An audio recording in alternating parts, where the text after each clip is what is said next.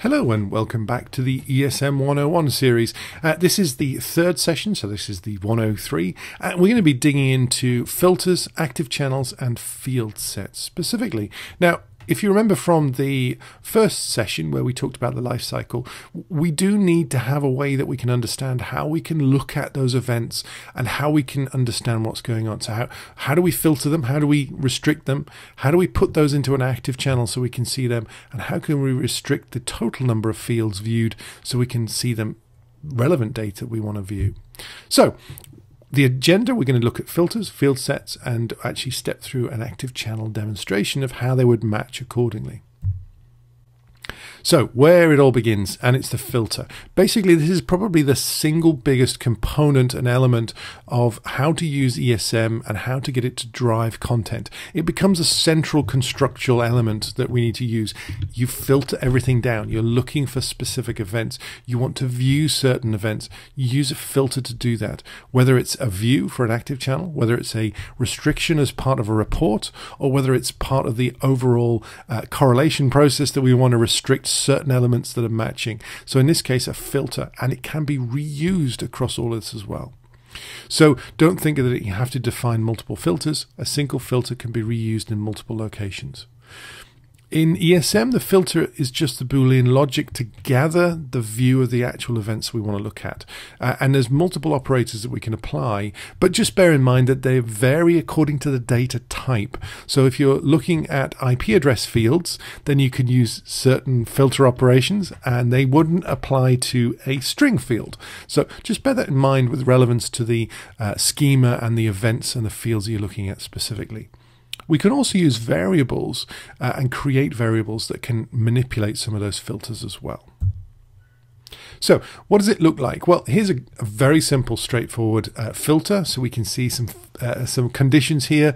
Uh, we can see that there's an OR uh, Boolean operator. We can see that the name has a number of uh, conditions that need to occur. So uh, the the name is desired event name or the name is not equal to desired event name or name is in a particular sequence or name starts with or ends with or is not null or contains. We can see that there is a number of uh, conditions there. That's not a great example, but it just gives you a scenario that you can see that we can do some string operators.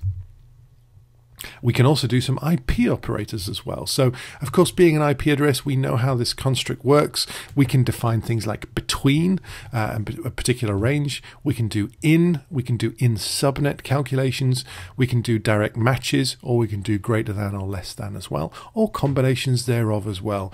Again, this is just defining the Boolean logic, uh, and you can do combinations of all those as well. But like I said, um, operators on those particular fields based on the field type. So if it's an IP address, it has one set of operations. If it's a string, it has a different set of operations. If it's an integer, it has a different set of operations again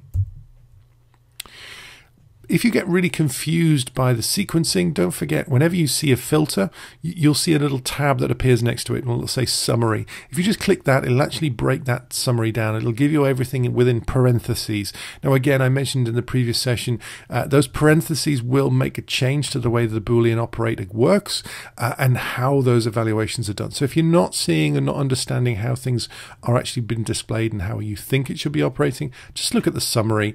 You can see the, the, the operator operators in a particular sequence. Remember, the the the way that the Boolean logic works is you within the parentheses you do the evaluation, then you apply it to the next calculation on from there, and so on. So it's a good way of doing things. Uh, certainly recommend that and using that as a summary view. Uh, and of course, as you you can actually look at the uh, uh copy and paste uh, into your favorite editor and just make sure that you can change things from that point of view as well. So you can edit it in that point too as well, just so you know. So, how are those filters processed? They, they, they seem to be processed from a top down, but just bear that in mind there's no easy way to change that processing. Remember, it's done on Boolean logic, it's done on the evaluation process. Uh, and just think about some of the processing efficiency here. So, you know, if you think about things like equals and not equals, that's a very precise calculation. It is equal to something or it's not equal to something. There's no additional calculation needed.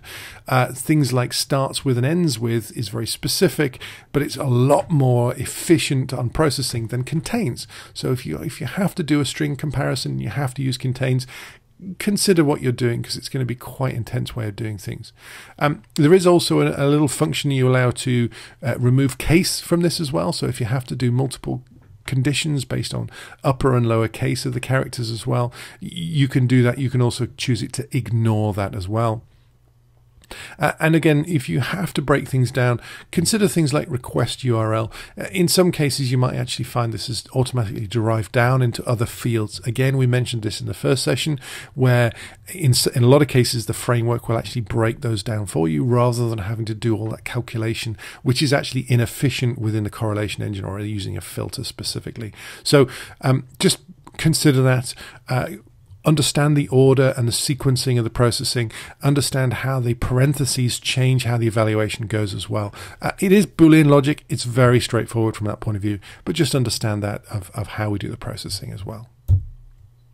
Now, we're going to look at field sets. Now, what is a field set? Well, this changes the way that you view the data and allows you to have a customizable and personal view of the fields in order and down to restriction set as well. So it gives you a really good way to look at that and to apply that data. Now, from an administration point of view, we could also use field sets to restrict how users can see some of the data. So they, there will be certain fields that they can't see. Uh, alternatively, you might want to use that as a personal way of restricting some of the fields from view so you don't have to consume extra CPU cycles to retrieve data or process data as well well. So probably the best example is to actually show what it is. So it allows you to have a particular restricted view on what the particular fields are that you can see. So in this case, we can see we're, we're creating a field set and we can restrict it down to particular types of fields to show. And we can rearrange them in a particular order as well. Um, you can use those to restrict uh, how you view them in the fields, how you view them in a filter, or even how it's viewed as part of an active channel as well. Uh, you'll see that that there is a drop down as part of the common conditions editor. So you'll see that whenever you create a filter or a view, uh, and you'll see how you can restrict those uh, field sets down. So there was a, a, quick walkthrough of some of the combinations and uh, background elements of to do with filters and how we can use field sets to uh, change them and what some of the conditions and Boolean logic that we can apply as well. So thank you very much.